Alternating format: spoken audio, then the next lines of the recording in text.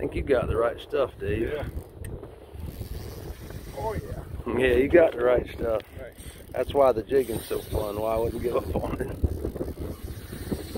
Good. That's there you go. Welcome to the little tuna world. Yeah. Now imagine an albacore a few pounds heavier and pulling 100 yards of line off in about three seconds. That'd be fun. Yeah.